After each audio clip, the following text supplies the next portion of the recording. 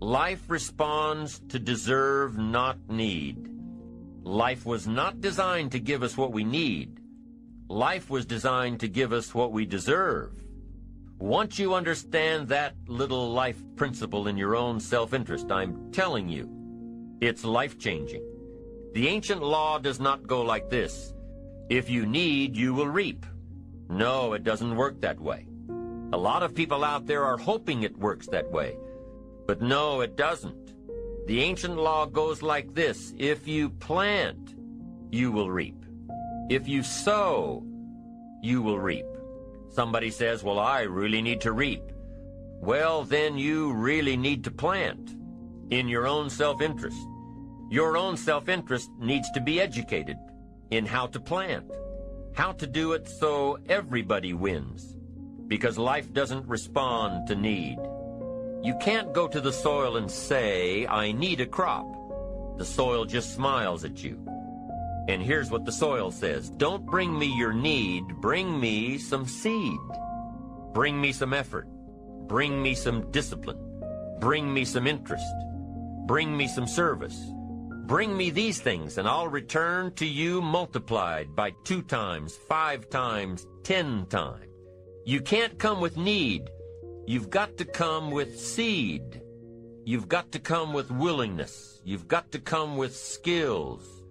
You've got to be willing to learn, willing to change, willing to grow, willing to put yourself out, willing to stand up to the bad weather, willing to pull out the weeds, willing to nurture. That's the only way you get a return. Once you understand these principles, self-interest now truly becomes an exciting challenge, making sure everybody wins. Now here's another one. If you want to find, you must search. And if you search, you will find. In order to find, you must search. You must go to the seminar. You must go to the library. You've got to go to the bookstore. You've got to go to the class. You've got to go searching. Why? If you search, you will find. You'll find ideas. You'll find inspiration. You'll find hope. You'll find contacts. But you've got to be out there, on the search, on the look. Life reserves its treasures for those who deserve it, not those who need it. Enlightened self-interest, giving so that you will receive, searching so that you will find, making sure that everybody wins all the way around. Enlightened self-interest needs to be educated. Enlightened self-interest says, I will learn that life is not just the passing of time. I will learn that life is the collection of experiences, ups and downs, highs and lows, laughter and tears. You must decide to act. You must have the discipline to act. Now here's what's important about discipline. One discipline affects another discipline. All disciplines affect each other. In fact, here's a good philosophical phrase. Everything affects everything else. Nothing stands alone. Don't be naive and say, this doesn't matter. Of course it matters. It all matters.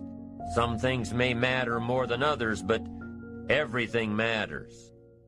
If you'd rather sleep in than go for a walk around the neighborhood, pretty soon it will matter. If you'd rather spend your money instead of saving it, Pretty soon it will matter. If you'd rather work late every night instead of going home and spending time with your family, pretty soon it will matter. It all matters. Every letdown affects the rest. If you won't walk around the block, you probably won't eat right. And you probably won't buy the books. And you probably won't attend the seminars. And you probably won't spend your money wisely and after years of this, it all adds up.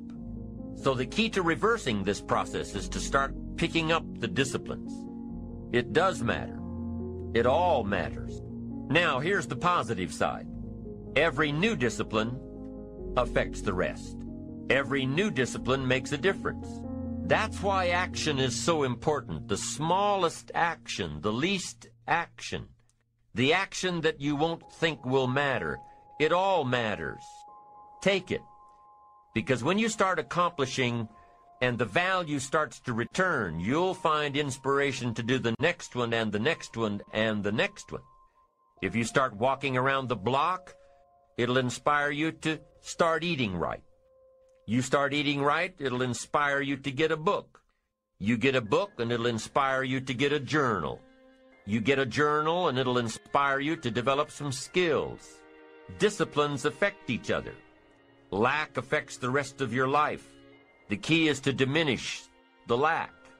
One of our greatest temptations is to just ease up a bit to do just a little bit less than you're capable of, to take a little break.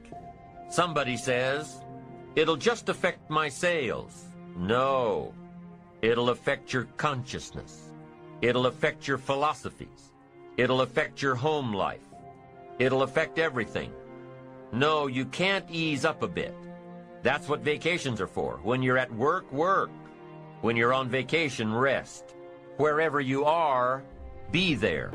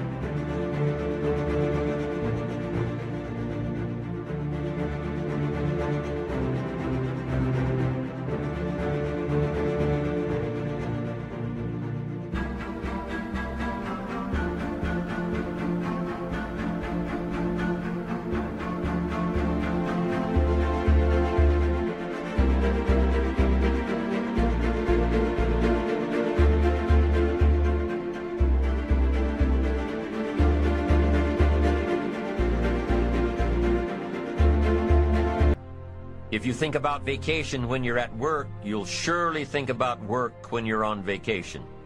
You'll just mess it all up. So be disciplined. Get involved.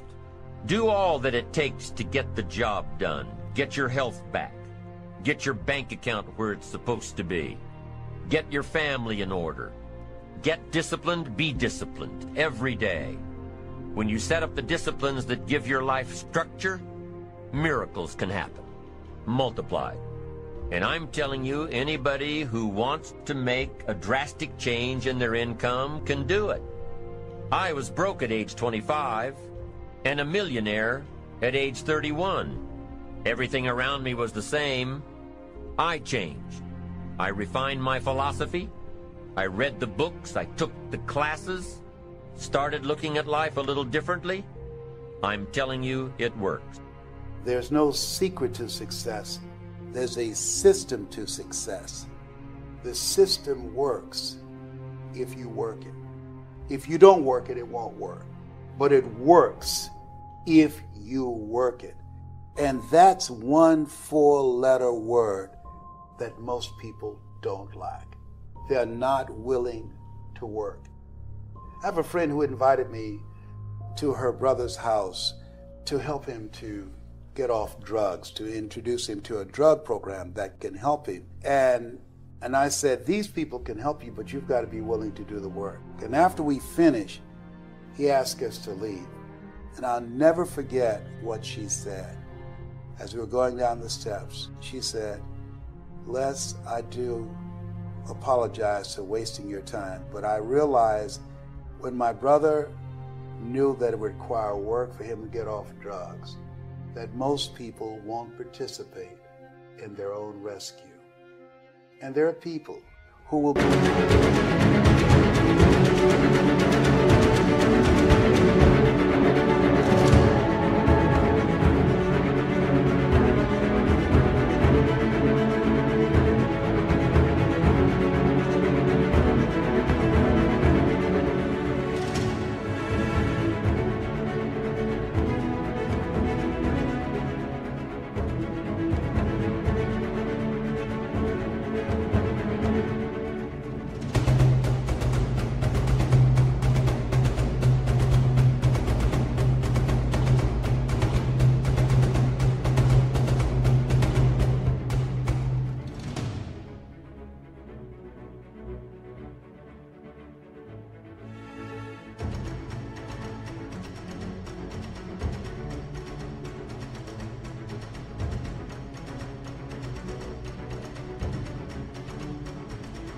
presented with an opportunity, who know that they could be laid off at any moment, who know that there's no such thing as job security, who know that them keeping their job has nothing to do with how good they are. And yet and still, they'll go to work and have knots in their stomachs, hoping when they open up an email that they have not been told this is your last day. They'll go to work hoping there's not a security guard standing by their desk with a box and say, empty your things in here and take them to the front door and escort them to the parking lot. They go in there hoping it doesn't happen. Why? Because they don't want to do the work. It's an aversion to most people's spirit. And I'm walking around in the jungle and I said, Well, Lord, I can't fly like the eagle. I can't run like the cheetah. I can't roar like the lion. And I can't throw my weight around like the elephant. What did you give man as his defense? In, in the whole ecosystem of human, of, of life force, what did you give me? He said, I gave you a brain. That's why God didn't make chairs. He only brings it halfway. We are taught that God makes furniture. I want you to look around your life for trees, not tables. God's going to bring it within the reach of your mind, and your creativity is going to take it the, the, rest of the way.